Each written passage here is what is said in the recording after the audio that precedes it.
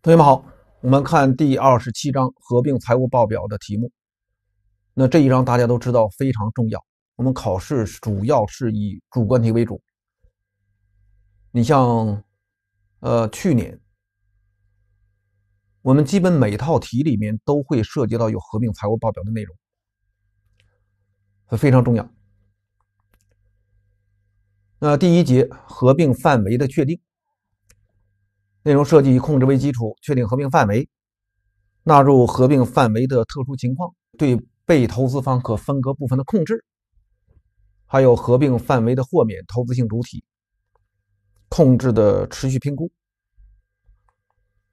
我们看单选题一，下列有关合并范围确定的表述中不符合企业会计准则规定的是，是哪个不符合准则规定？A. 母公司非投资性主体。那应当将其全部子公司，包括母公司所控制的被投资单位可分割的部分，结构化主体，说纳入合并范围。母公司要是非投资性主体，肯定把子公司全合并，所以这个没问题。我们看 B，如果母公司是投资性主体，为投资性主体的投资活动提供相关服务的子公司。不纳入合并范围，其他子公司应予合并。说反了，那这个不对。就是说，如果母公司是投资性主体，是为他提供相关服务的子公司纳入合并范围，其他的都是以公允价值计量、企及变动计入当期损益、金融资产来核算。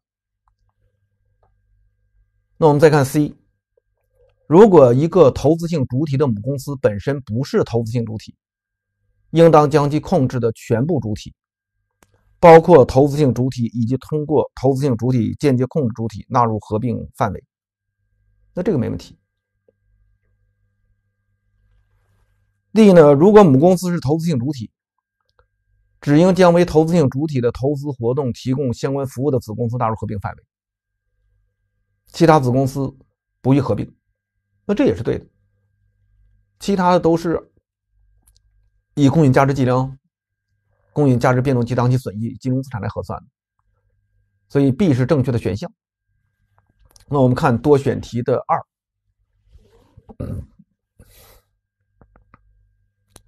呃，甲公司与乙公司合资设立丙公司，注册资本十个亿，其中甲公司出资八个亿，占注册资本的百分之八十；乙公司出资两个亿，占注册资本的百分之二十。二二年三月，甲公司、乙公司与 W 信托公司签署了增资协议，由 W 信托公司发起设立某信托计划，该信托计划向丙公司增资十个亿。增资完成后，丙公司的注册资本增加至二十个亿，其中甲公司持有百分之四十股权，乙公司持有百分之十股权，该信托计划持有百分之五十股权。那该信托规模是十个亿。根据相关协议安排，甲公司呢仍然控制丙公司，丙公司定期向信托计划支付固定收益的利息，且两年后，信托计划收回所投入全部资金。那不考虑其他因素，下列说法中正确的有。A 呢？丙公司应当将该信托计划分类为一项负债。那丙这边，那将来他要付啊，付这部分固定的利息，两年之后还要付本金，所以不可避免付现金。当然，它呢就是一项负债。B，丙公司应当将该信托计划分类为权益工具。那这个不行，它是一项负债。C 二二年十二月三十一日，甲公司应该将丙公司作为持股比例百分之八十的子公司合并。虽然说看着好像持股比例百分之四十，另外呢，就是说那实际上那信托他要的就是这个利息，要的是属于最终给他偿还本金。那你真正从股权这边来看。甲呢还是持有丙百分之八十，所以百分之八十子公司合并，这是对的。那 D 二年十二月三十一日，甲公司应该将丙公司作为持股比例百分之四十子公司合并，不是百分之四，还是百分之八十。那也就是说，丙的接受的信托那一部分应该是一项负债。那这个 A 和 C 是正确的。第四节，长期股权投资与所有者权益的合并处理，呃，非同一控制下企业合并。那非同一控制下取得子公司购买日合并财务报表的编制，非同一控制下取得子公司购买日后合并财务报表的编制。那我们看一下单选题的第二个，二二年一月一日，甲公司从集团外部购入乙公司百分之六十有表决权的股份。构成了非同一控制下企业合并。二二年度，乙公司实现净利润是六百万，乙公司按购买日公允价值持续计算的净利润是五百万，分配现金股利二百万。二二年十二月三十一日，甲公司个别资产负债表中所有者权益总额是一千万。那不考虑其他因素，甲公司二二年十二月三十一日。合并资产负债表中归属于母公司所有者权益的金额是多少？那归属于母公司的甲公司自己本身的这一千肯定要是要算的。再有呢，就是说购买日之后，子公司所有者权益变动归属于母公司部分。那这里边我们可以看到呢，购买日之后怎么样的变动的？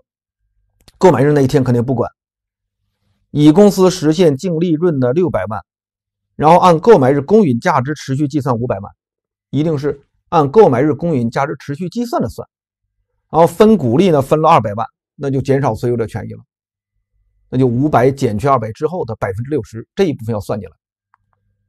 所以就说母呃母公司一个甲的这一部分要算，另外子公司所有者权益净增加是。五百减二百，三百的百分之六十算进来，幺幺八零，那选项 C 是正确的。我们再看单选题的六，这个题目呢是要求啊让算少数股东损益。呃，甲公司二一年六月三十日从集团外部取得乙公司百分之六十的股权，对乙公司能够实施控制。二二年六月二十日。乙公司向甲公司销售一件产品，那账面价值是七十六万，销售价格是一百万，增值税税额十三万。呃，甲公司将该产品作为管理用的固定资产使用，用年限平均法计提折旧，预计使用年限为四年，没有残值。二二年，乙公司按购买日公允价值持续计算的净利润是四百万。说假定呢不考虑所得税等因素的影响，那甲公司二二年合并利润表中应确认的少数股东损益，少数股东损益要考虑两块，一个就是说当年乙公司按购买日公允价值持续计算净利润，我们这一块乘以少数股东持股比例百分之四十，还有一块呢是内部交易，内部交易因为是二二年六月二十号。乙公司向甲公司销售的这个产品，它是一项逆流交易，然后甲把它作为固定资产使用了。那说这一部分有多少未实现利润？那未实现利润，一个是原价中未实现的，那扣掉当年多提折旧啊，那这一部分呢？再乘以少数股东持股比例，会减少少数股东损益。那我们看，二二年十二月三十一日，固定资产中有多少未实现利润？原价中未实现的一百减七十六。那这一部分呢，除以四年，半年时间，因为是发生在二年六月底，七月份开始提折旧，把多提折旧给扣了，二十一万。所以算少数股东损益。购买按购买日公允价值持续计算的是四百乘以百分之四十，我们要把这一部分未实现利润要乘以百分之四十扣掉，一百五十一点六，选项 C 是正确的。我们再看单选题的七，那甲公司二二年一月一日从集团外部取得乙公司百分之八十股份，能够对乙公司实施控制。二二年一月一日，乙公司除一项管理用无形资产外，其他的资产和负债公允价值与账面价值相等。该无形资产账面价值三百万，公允价值八百万。呃，预计尚可使用的年限十年，直线法摊销没有残值。二二年六月三十日，乙公司向甲公司销售一件商品，商品的售价是一百万，成本八十万，没有提议叠加准备。甲公司购入后，将其作为管理用固定资产使用，按五年采用年限平均法计提折旧。预计净残值为零。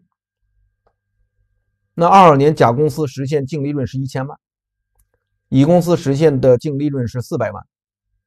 假定不考虑所得税等因素的影响，那这个接下来让算的是甲公司二二年合并利润表中归属于甲公司净利润，就是归属于母公司净利润。那这一部分，一个呢是属于。母公司自己本身实现的，然后呢还要考虑进行一些调整的问题，也就是说，在购买日的时候，呃，有一项无形资产公允价值跟账面价值不一致，那你对当期的损益的影响要进行调整，调整到呢是按照购买日公允价值持续计算的净利润，另外涉及到内部交易。那影响的利润，那也要考虑消除的问题。这内部交易啊，我们题目说乙向甲销售的是逆流，所以未实现的利润呢是按照比例这一部分来进行消除，而不是全部的都是冲减归属于母公司的。那看一下乙公司二二年购买日公允价值持续计算净利润，就是四百万账面的。一项无形资产公允比账面多了五百万，八百减三百，呃，十年嘛，除以十，因为是二二年一月份就开始了，就取得了，所以三百五。二二年内部交易中固定资产未实现利润，八十万卖一百，这是固定资产原价中未实现的。然后呢，这一部分除以五年，半年的时间，所以一共未实现利润十八。这样。合并报表中归属于甲公司的净利润，甲公司自己本身的一千，再有乙公司，我们这边要进行调整的，就百分之八十部分，一个三百五减十八之后，然后再乘以百分之八十，那一二六五点六，选项 C 正确。那接下来看多选题的四，甲公司二二年一月一日购入乙公司百分之八十股权。非同一控制下的控股合并，能够对乙公司的财务和经营决策实施控制。除乙公司外，甲公司无其他子公司。当日呢，乙公司可辨认净资产公允价值四千万。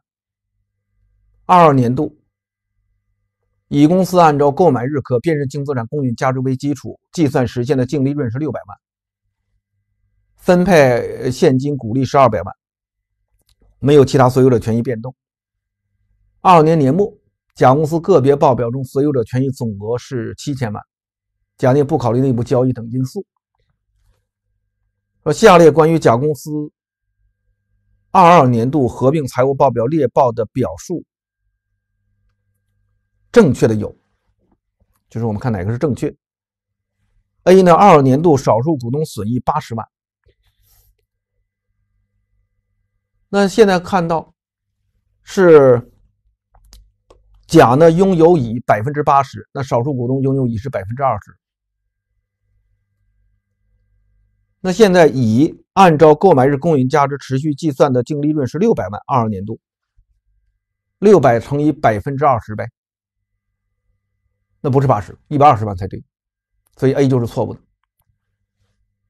B 呢，二二年十二月三十一日少数股东权益是八百八十万，我们看这个的计算。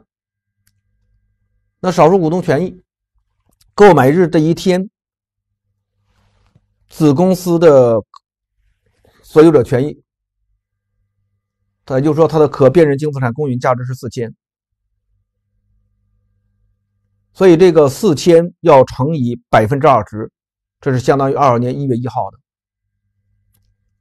然后再看二二年的变动，利润六百万，分股利分了二百万，所以真正乙公司所有者权益增加四百万，再乘以百分之二十，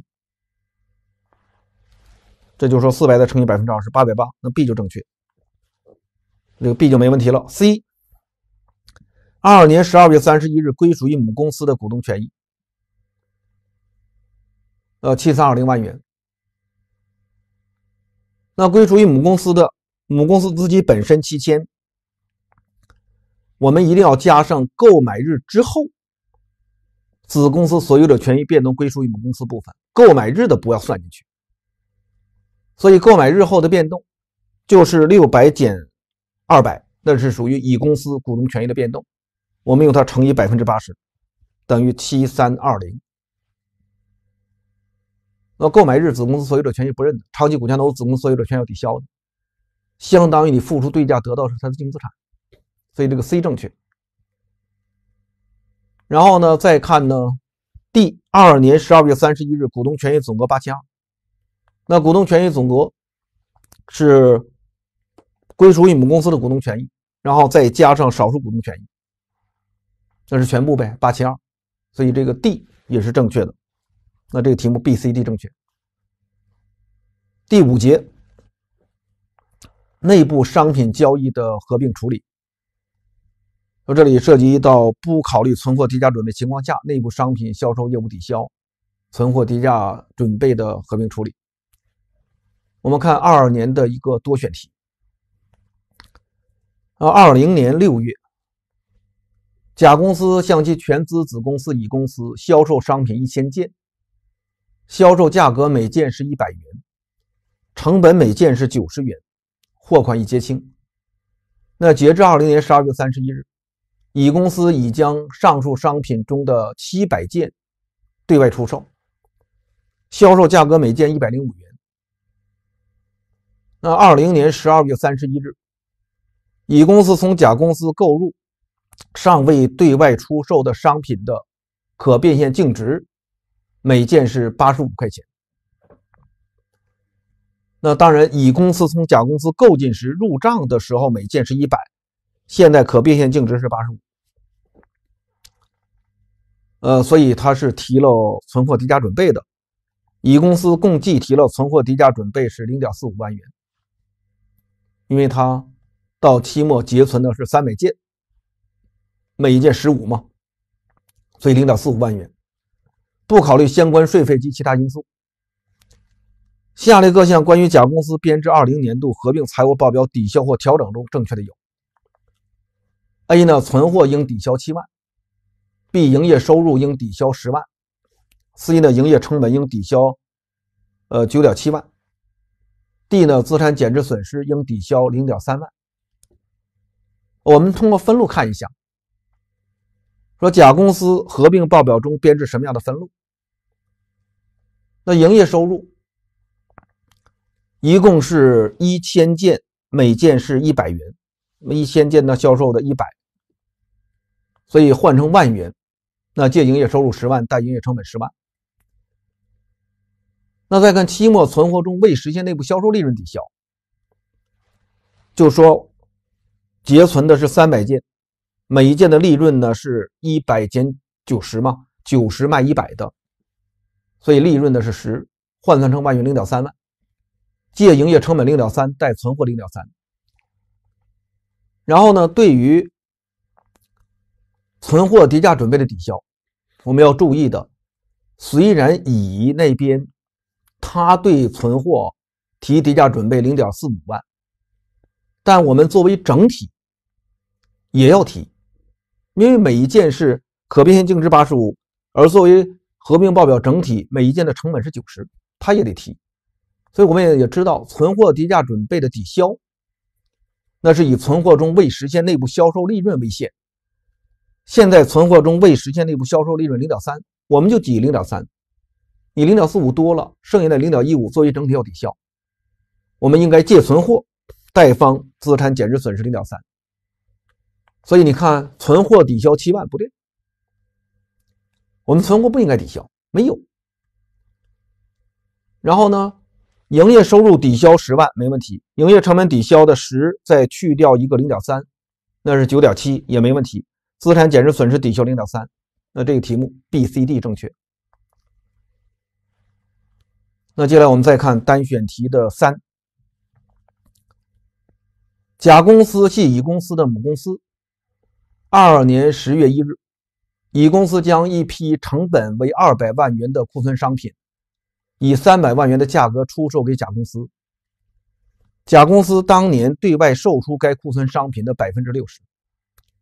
二二年十二月三十一日，甲乙公司个别资产负债表中存货项目的列报金额分别为两千万、一千万，不考虑其他因素。说二二年十二月三十一日，甲公司合并资产负债表中存货项目的列报金额是多少？就是合并报表里面。那现在呀，是合并报表中列报的，个别报表里的加在一块儿，甲的是两千，乙的是一千。然后我们接下来呢，就要把。未实现内部销售利润这一部分，给它扣除。那现在三百减二百，因为成本乙的是二百，库存商品卖了三百，对外售出百分之六十，百分之四十结存，这是未实现利润。那这部分剔除之后，最后呢，结果是二九六零，所以还是选项 C 正确。那接下来我们看多选题的五，甲公司是乙公司的母公司。二二年，乙公司出售库存商品给甲公司，售价是二百万，不含增值税，成本是一百六，未计提存货跌价准备。至二二年十二月三十一日，甲公司从乙公司购买的上述存货，对外出售百分之四十，售价一百。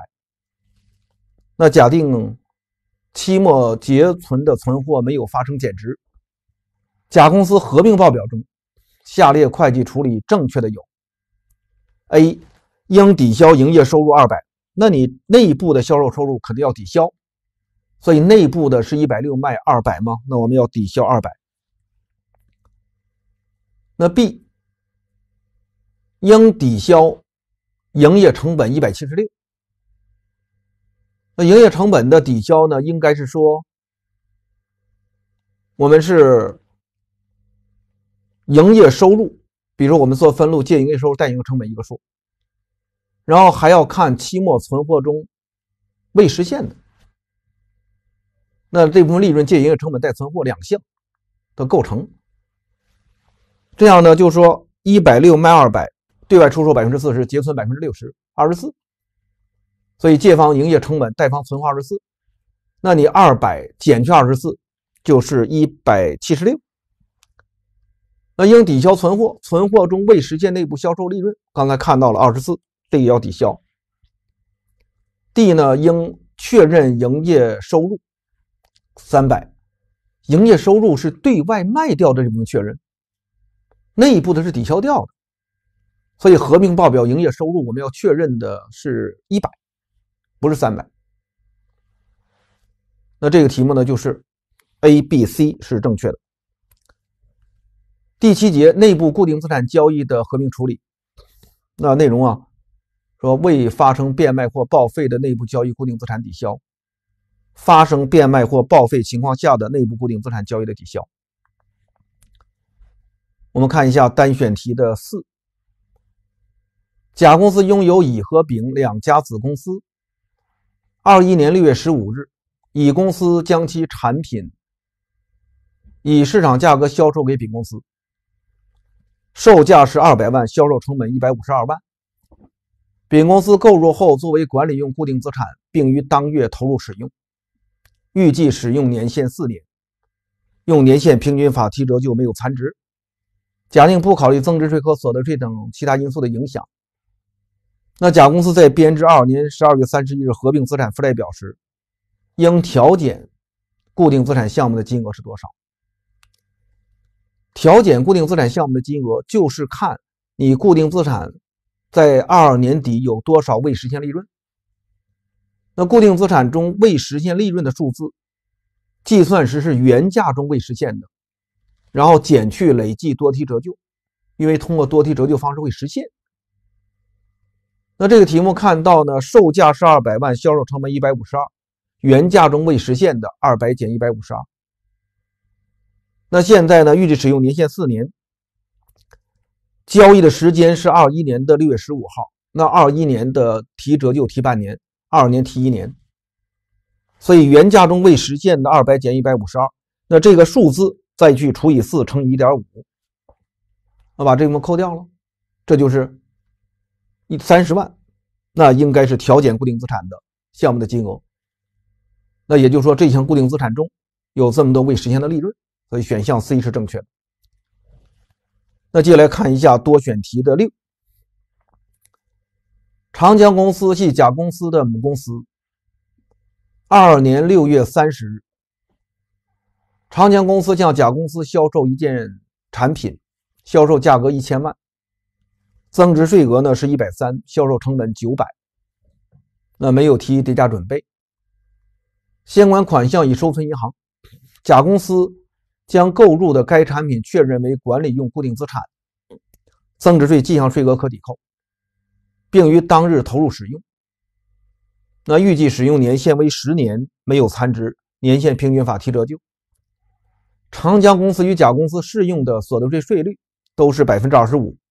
不考虑其他因素，长江公司在编制二二年合并财务报表时，因该项内部交易做出的下列调整抵销处理中，正确的有：A 是抵消资产处置收益一千万；B 呢抵消管理费用五万；C 抵消固定资产一百万；D 呢调增递延所得税资产二十三点七五万。我们通过分录来看一下。就说你真正编抵消分录时，先是把固定资产原价中未实现那这部分利润抵消，一方的产品卖给另一方形成固定资产，所以借方营业收入一千，带营业成本九百，固定资产原价中未实现内部销售利润是一百，然后要把固定资产当期多提折旧给抵了，就固定资产入账多了。一百除以十，半年的时间乘以十二分之六，所以借固定资产五，贷方管理费用五。那我们看到，那固定资产原价中未实现内部销售利润一百，通过多提折旧方式呢，现在实现五，还有多少未实现利润？到期末呢是九十五，九十五再乘以百分之二十五，那就应该借递延所得税资产，贷方代记所得税费用。二十三点七五。所以这样，我们看到抵消营业收入一千，那不是资产处置收益；抵消营业成本九百，抵消管理费用五，那抵消固定资产是九十五，确认调增递延所得税资产二十三点七五。那这样呢，我们就会看到给定的选项里 B 跟 D 是正确的。那第九节特殊交易。在合并财务报表中的会计处理内容涉及本期增加或减少子公司如何编制合并财务报表，追加投资的会计处理，处置对子公司投资的会计处理，因子公司少数股东增资导致母公司股权稀释的会计处理，交叉持股的合并处理，逆流交易的合并处理，还有其他特殊交易。啊，我们看一下单选题五。呃，下列有关处置子公司股权投资直至丧失控制权的各项交易，属于一揽子交的表述中不正确的是，那 A 呢，应当将各项交易作为一项处置子公司并丧失控制权的交易进行会计处理。那这个属于一揽子交易啊。那是没问题的，你各项交易作为一项处置子公司并丧失控制权交易进行处理，那再看一下 B，在丧失控制权之前，每一次处置价款与处置投资对应的，享有该子公司自购买日开始按公允价值持续计算的净资产份额之间的差。合并财务报表中呢，要确认其他综合收益。那这也是对的。说你最终丧失控制权一揽子交易的，之前的处置呢，差额都是其他综合收益。我们再看 C，在丧失控制权之前，每一次处置价款与处置投资对应的，享有该子公司自购买日开始按公允价值持续计算的净资产份额之间的差。那合并财务报表中确认投资收益这不行，先确认其他综合收益，最终真正处置完丧失控制权。再转投资收益去。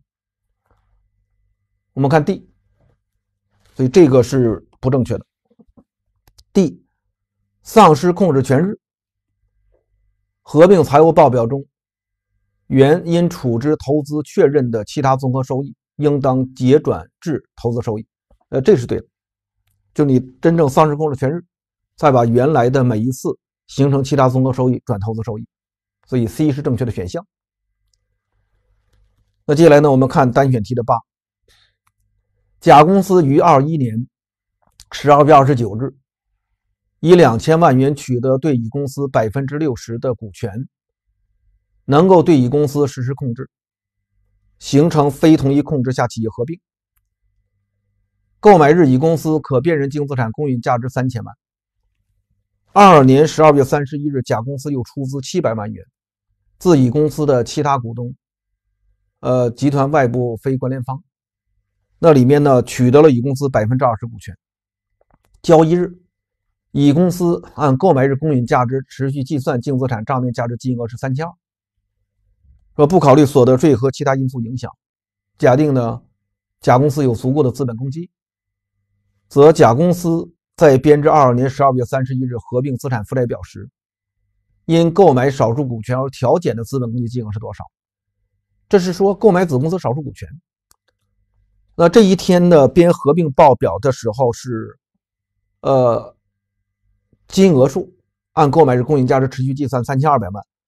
那也就是说，我们要把个别报表上的投资，就是说你要调到三千二百万乘以百分之二十，购买少数股权不能出现呃商誉啊。因为这是个权益性交易，所以你要不出现商誉，那你个别报表上的当时出资七百万就要调整到三千二乘以百分之二十，那这就调资本公积。所以我们看七百减去三千二乘以百分之二十，那等于六十万，选项 B 正确。那再看单选题的九，甲公司二零年一月十日。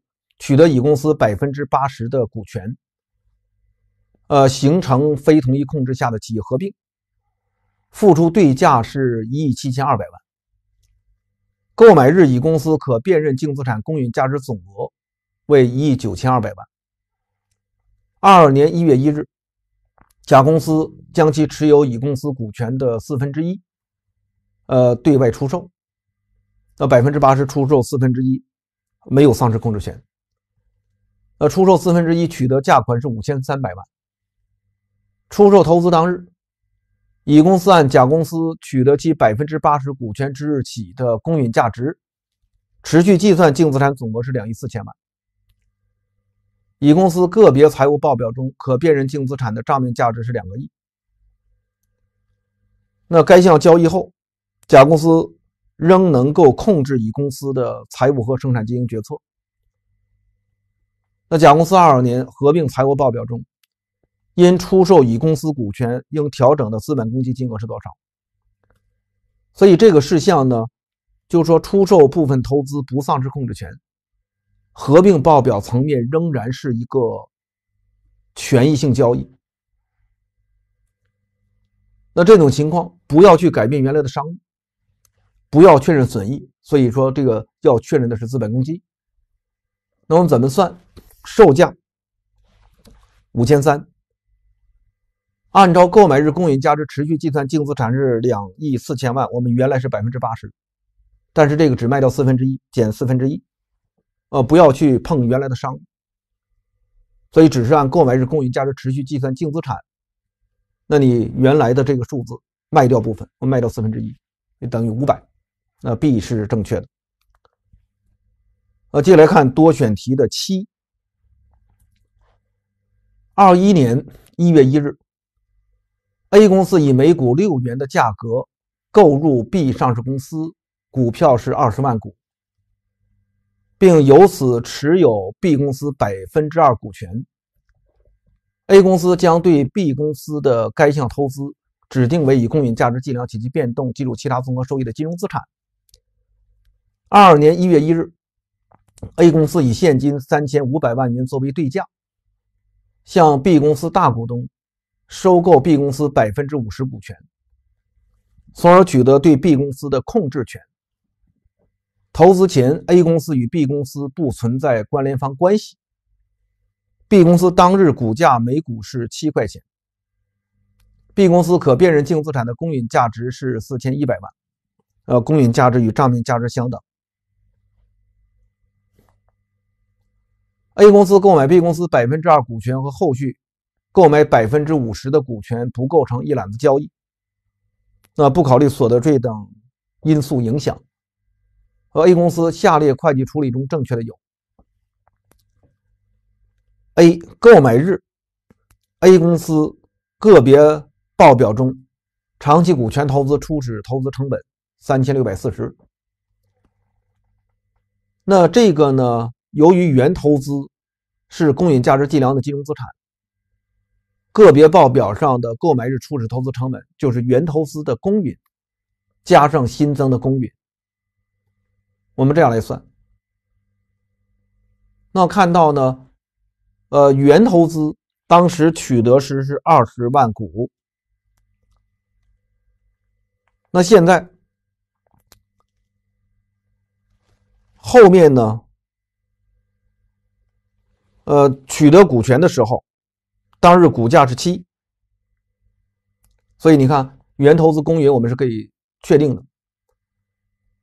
然后又付出去的是属于三千五百万元的现金，这样就是二十乘以七再加上三千五，原投资公允加上新增公允三六四零，那 A 就没问题。B 呢，购买日的合并成本三六四零。合并成本购买日这一天就是原投资公允加上新增公允啊，所以也是对的。但是如果原投资是长期股权投资权益法核算的，合并成本跟初始投资成本不一样。原投资权益法核算达到控制时的初始投资成本是原投资账面加上新增公允，而合并成本都是公允，所以不一样。那接下来我们看 C。购买日合并财务报表中，该项长期股权投资列报金额为三六四零万元，那这个不行。合并报表里面根本就不会涉及到长期股权投资列报的事情。长期股权投资要和子公司的所有者权益抵消，所以这个没有。D，购买日合并报表中应确认商誉一五零八，那商誉就是合并成本三六四零减去这一天。被购买方可辨认净资产公允价值份额给的被购买方可辨认净资产公允价值四千一，我们现在整个持股比例百分之五十二，所以等于一五零八，那么选项 D 是正确的。那这个题目就是 A、B、D 正确。第十节所得税会计相关的合并处理，呃，内容涉及说所得税会计概述、内部应收款项相关所得税的。会计的合并处理，内部交易存货相关所得税会计的合并处理，内部交易固定资产等相关所得税会计的合并处理。那接下来我们看一下单选题的十，呃，这个甲公司、乙公司均系增值税一般纳税人，销售商品适用的增值税税率都是百分之十三，适用的所得税税率都是百分之二十五。甲公司二二年六月十日，从其拥有百分之八十股份的乙公司购进管理用设备一台。该设备为乙公司所生产的产品，成本是三百六十万，为计提存货定价准备，售价是六百万，增值税税额是七十八万，另付安装公司安装费八万，甲公司已支付该款项，且该设备当月投入使用，设备预计使用年限为四年，预计净残值为零，用年限平均法提折旧。那假定呢，会计采用的折旧方法，预计使用年限和预计净残值与税法规定相同。二年十二月三十一日，甲公司编制合并财务报表时，应在合并财务报表中确认递延所得税资产是多少。实际上，我们就是要看一下，到二二年底，固定资产中有多少未实现利润。那你未实现利润这一部分，它就会形成可抵扣暂时性差异，用它乘以适用所得税税率，那就是要确认的递延所得税资产。固定资产原价中未实现的六百减三百六，然后呢，当期多提的折旧给它减去，六百减三百六之后除以四年，过去半年时间嘛，因为是六月份发生交易，那半年提的折旧多提的扣除，乘以十二分之六。这就是可抵扣暂时性差异，就是固定资产中有这么多未实现利润，乘以适用所得税税率百分之二十五，五十二点五的选项 D 正确。第十一节合并现金流量表的编制，说涉及合并现金流量表概述，编制合并现金流量表需要抵消的项目。我们看多选题九，下列属于母子公司。合并现金流量表应抵消的项目有，那作为整体上不存在的现金流，都是要把它抵消掉的。A，母公司与子公司、子公司相互之间，当期以现金投资或收购股权增加的投资所产生的现金流量，那这个肯定要进行抵消。你往那边投资，那边接受投资，整体根本没有这个现金流。所以要把它抵消。B 呢，当期取得投资收益收到的现金与分配现金股利支付的现金，那你一方分股利，子公司那边分，母公司这边收到，这个现金流作为整体也没有，所以肯定也要进行抵消。C，呃，以现金结算债权与债务产生的现金流量，那也是一个整体的。你那边呢是什么销售商品？提供劳务收到现金，这边购买商品接受劳务支付现金，整体没有，所以当然也要把它抵消。再看 D，企业集团内部处置固定资产收回现金金额与构建固定资产支付现金，那整体上同样也没有现金，要把它进行抵消，所以这四个都要进行抵消。那接下来我们看多选题的十，关于现金流量的分类。下列说法中正确的有：A. 用现金购买子公司少数股权，在母公司个别财务报表中属于投资活动现金流量，那这个没问题啊。你是反映到长期股权投资，比如借长期股权投资贷银行存款，它属于投资活动，是对的，这是个别报表。那 B. 用现金购买子公司少数股权。在合并报表中属于筹资活动现金流量，因为你合并报表上现金是减少了，另一方呢影响的，它不是长期股权投资，长期股权都消掉了，抵消掉了。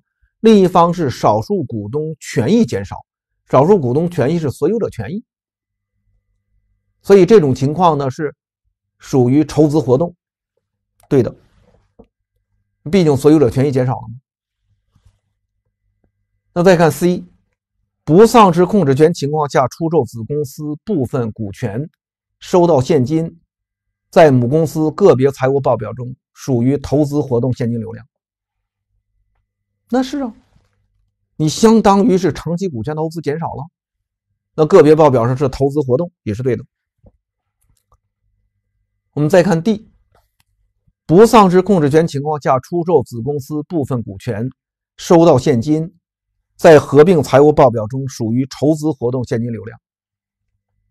那合并报表里面你收到的现金，最终呢影响到还同样是少数股东权益，所以是现金增加，少数股东权益增加，当然属于筹资活动，所以 D 也是对的。这个题 A、B、C、D 都正确。那接下来呢，我们看二二年的综合题。这个综合题啊，我们是第一波考试的，呃，题里面有两套，还有财政部公布的那一套。我想这三个都给大家说一下。呃，因为合并报表的大题确实比较重要。那当然了，二一年的、二零年的这些题也是一九的，都要跟大家说。那甲公司是 A 股上市公司，相关年度发生的有关交易或事项如下。我们看其他资料，其他资料一，甲公司、乙公司和丙公司按净利润的百分之十计提法定盈余公积，未做其他分配。那第二，甲公司一九年度财务报告于二零年三月一日经批准报出。第三呢，本题不考虑相关税费及其他因素。我们看出要求，要求一，根据资料一，说明甲公司购买乙公司说含丙公司时，对于乙公司合并财务报表中确认的与丙公司相关的商誉，有一千万元，应当如何进行会计处理？计算的甲公司购买乙公司含丙公司形成的商誉金额，以及应分摊至乙公司、丙公司的商誉金额，这就说资料一。那下面我们看资料一这个内容。一九年一月一日，甲公司以发行五千万股普通股为对价，购买乙公司百分之六十股权。那构成非统一控制下的企业合并。甲公司发行股份的面值为每股一块钱，公允价值每股是十块钱。当日办理了乙公司股权过户登记及增发股份手续。乙公司持有丙公司百分之百股权。一九年一月一日，乙公司合并财务报表主要财务数据如下：就是说，甲买的乙。乙本身呢是有子公司的，他是持有了丙公司百分之百股权，所以会涉及到乙提供的合并财务报表。那乙公司合并报表里面有账面价值，呃，也有可辨认资产或负债的公允价值。然后这里面资产总额账面价值呢是九亿两千万，然后涉及到有公允价值。是九亿九千万。说其中的无形资产，这边的是账面价值是一个亿，那公允价值一亿八，无形资产会多出去八千。商誉呢是与丙公司相关的有一千，这是在账面价值里面。那剩下的负债，然后还有所有者权益各个项目的数字。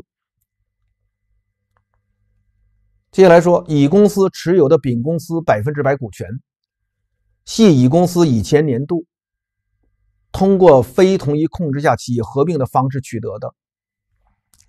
一九年一月一日，不含与丙公司相关商誉。那乙公司合并财务报表中净资产账面价值五亿一，可辨认净资产公允价值是五亿九。那么非同一控制下的企业合并。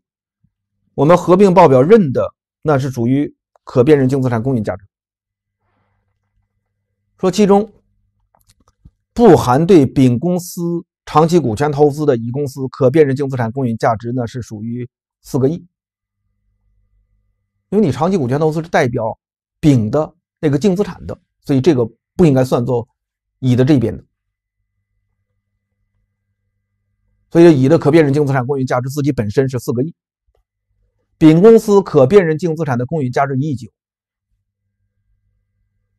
因为我们最终形成的商誉要按照他们公允价值比例要分，说有多少是归乙的，有多少是归丙的。除乙公司自身一项管理用无形资产增值，八千万元以外，那是八千万完全是乙公司自己本身的。和其他资产负债的账面价值等于公允价值。该无形资产尚可使用二十年，预计净残值为零，采用直线法摊销。乙公司与丙公司的业务不具有协调性。甲公司呢，按公允价值比例将商誉分摊至乙公司业务和丙公司业务。那我们看一下这个答案部分，说甲公司合并报表中商誉，商誉的概念是什么呀？合并成本和被购买方可辨认净资产公允价值距比，这是商誉。那我们现在给的被购买方乙，它是个合并报表，含有丙的，丙里的商誉不能算。商誉是不可辨认的，我们是跟可辨认净资产公允价值份额去比。所以呢，甲公司购买乙公司时，对于乙公司合并报表中形成的商誉，你要不要考虑？要把它剔除出去，这样才变成一个可辨认净资产公允价值。那最后形成新的商誉，我们是按照乙自己本身的可辨认净资产公允价值和丙的。可辨认净资产公允价值比例再去进行分，是这样的概念。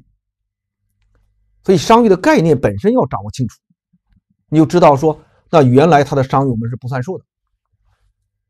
我们看甲公司购买乙公司形成的商誉，发行权益性证券五千万股，每股的市价值，这叫合并成本。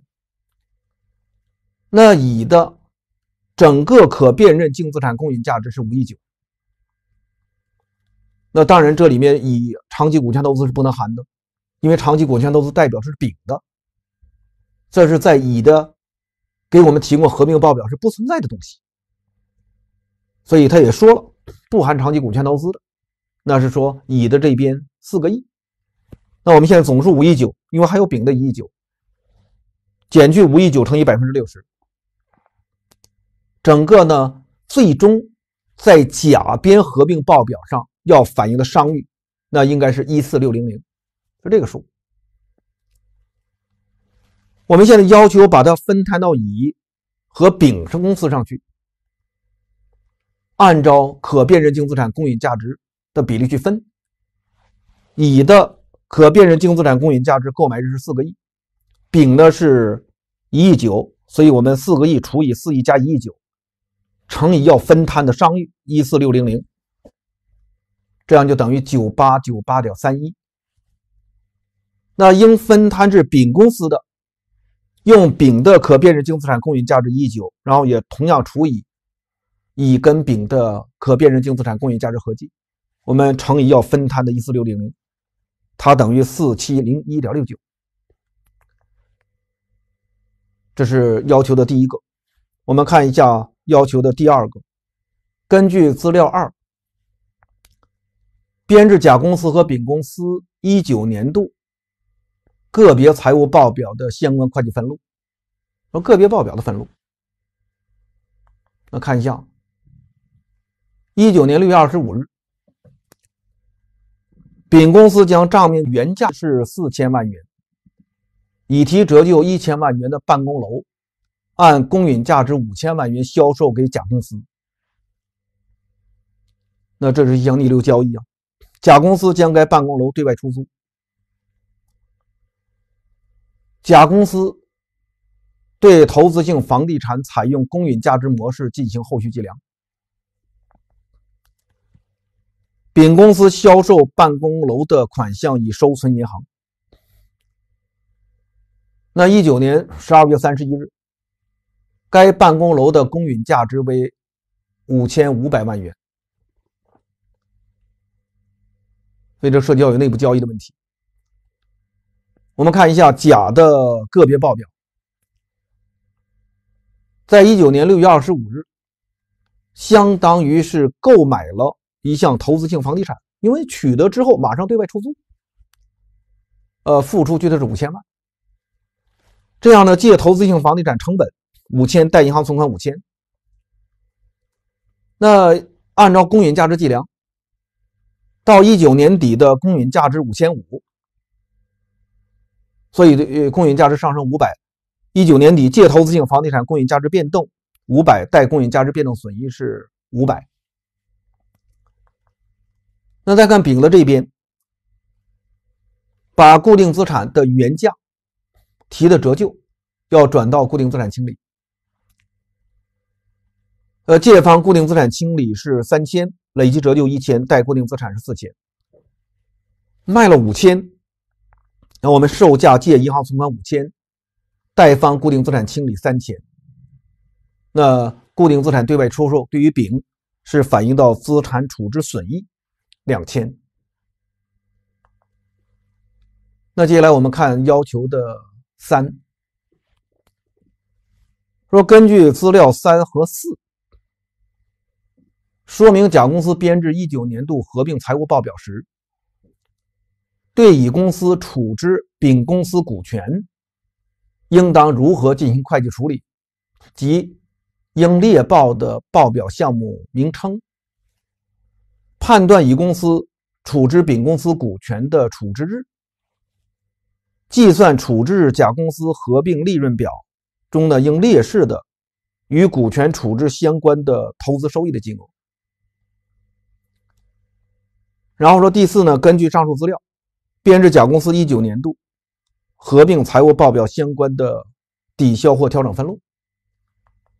那看一下资料三，一九年十二月五日，经相关程序审议批准，乙公司与无关联关系的其他公司签订了不可撤销的协议。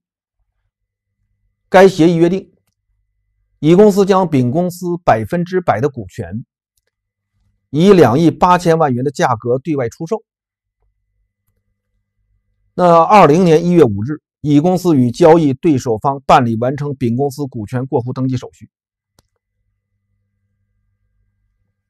二零年一月五日，丙公司可辨认净资产在甲公司合并财务报表中的账面价值，与一九年十二月三十一日的账面价值相等。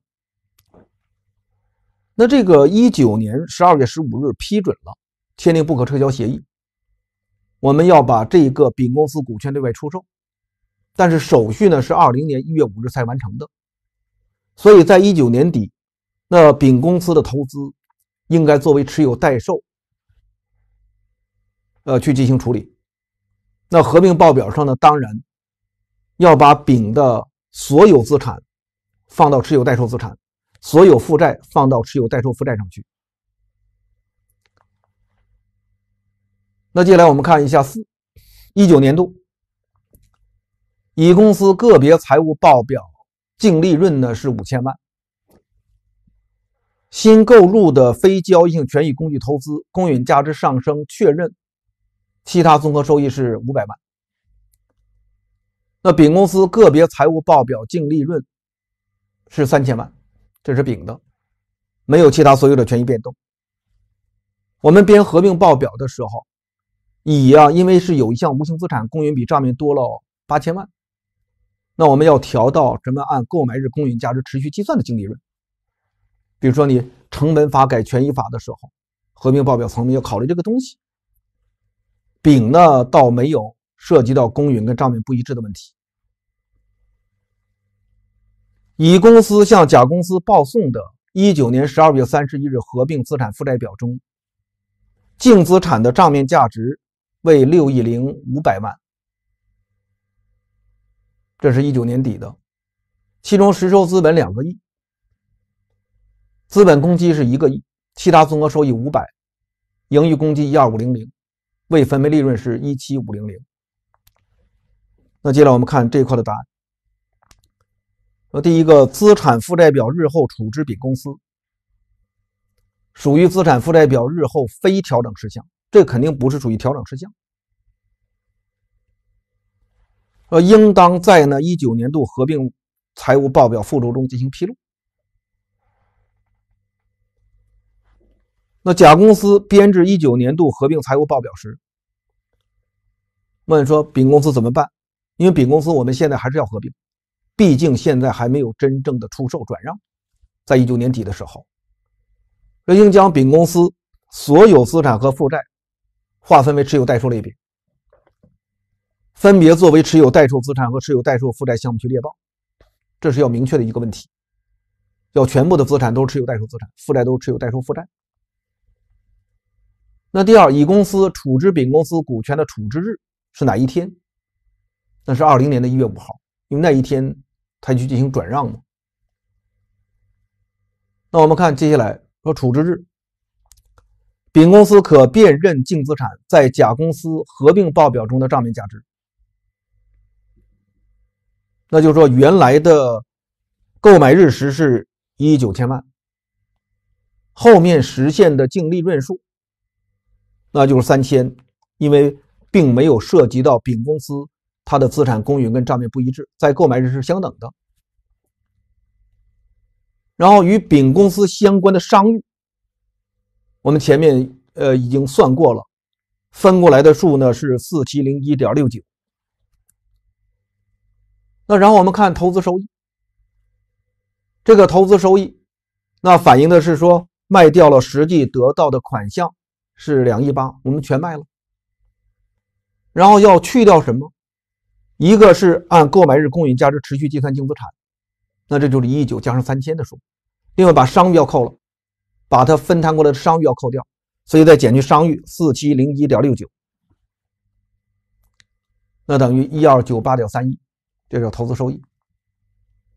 我们看第四个合并报表上的事情，我们合并报表层面要将原来乙公司那项无形资产增值八千万。那你要调呗，借记无形资产贷资本公积八千，呃，题里没有涉及考虑所得税的问题，那你就不用确认递延了。八千按照二十年来进行摊销，那你多摊销的数字我们要反映进来，八千除以二十，借方管理费用，贷方贷无形资产四百，然后我们成本法改成权益法。那这里边，呃，是乙的这一边账面实现的利润五千，但是要调整到按购买日公允价值持续计算的，所以要把无形资产按公允价值多摊销的数四百减去，减完之后是按购买日公允价值持续计算的。那现在我们甲呢持有乙百分之六十嘛？所以再乘以百分之六十，那丙实现的净利润是三千，它不用调整，因为不涉及公允跟账面价值不一致的事情。那同样，甲也是拥有它百分之六十，因为乙拥有它的全部，甲呢拥有乙百分之六十嘛，那就是百分之六十。那成本法给权益法借长期股权投资四五六零，贷方投资收益四五六零。那接下来有其他综合收益，呃，其他综合收益这个数呢，它的变动数，那我们当然就是乙的这一边，它是新购入的五百万，我们乘以百分之六十，三百万。借长期股权投资贷其他综合收益三百。那之后我们看抵消分录，实收资本。直接给的两个亿，就是在资产负债表日，也就是说我们题目里啊，呃，报送的报表里面，实收资本以合并报表中不可能去反映丙的那一部分所有者权益，那丙的所有者权益都被抵掉了，所以完全是乙的这边合并报表反映的。然后这里有资本公积、其他综合收益、盈余公积未分配利润，那我们看一下。资本公积给的是一个亿，但是无形资产评估增值八千，你要把它加上一亿八。我们最终抵的是它的公允价值的净资产，那这个没问题，一亿八。其他综合收益五百，那盈余公积呢不用动，一二五零零把它抵消。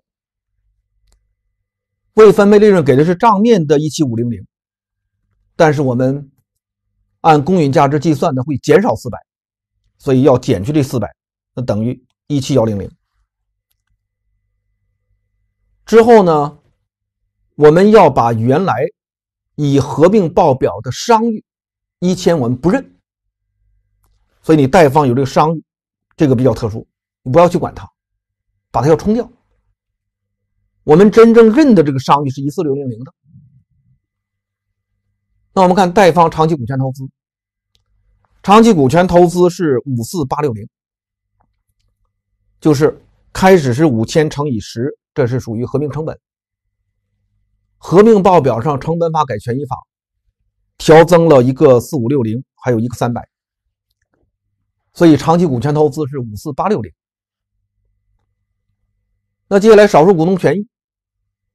我们就是应该加起来，呃，子公司所有者权益，呃，实收资本呢是两个亿，资本公积一亿八，其他综合收益五百，盈余公积一二五零零，呃，未分配利润年末数一七一零零，我们还有一个商誉要冲掉的，一千给它扣了，说最后乘以少数股东持股比例百分之四十，二六八四零，那最后呢，呃，我们倒挤出这商誉一四六零零。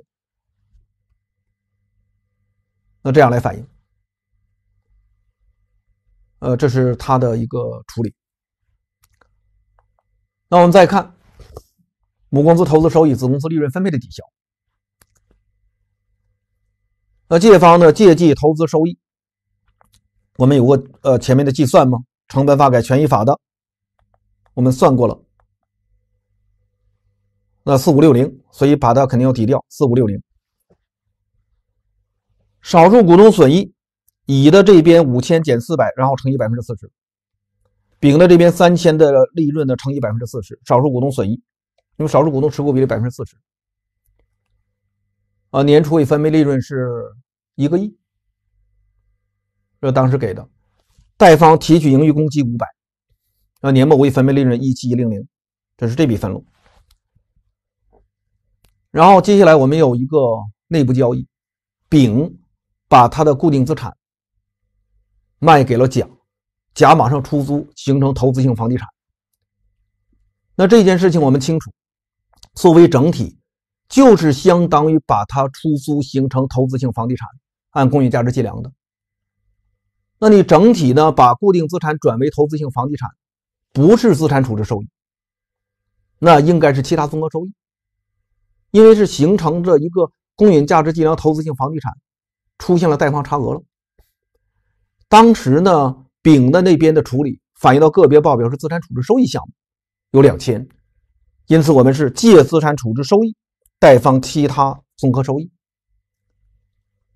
那这个呢是在丙的那边卖给甲，所以它是一个逆流交易，影响损益的，我们要调少数股东损益、少数股东权益。那当然这个事情。按照百分之四十呗，也就是说两千乘以百分之四十，要减少少数股东损益、少数股东权益。毕竟这边的分录是借资产处置收益啊，因此借少数股东权益八百，贷方少数股东损益八百，啊，方向别搞错了。呃，这节课就到这里，谢谢大家。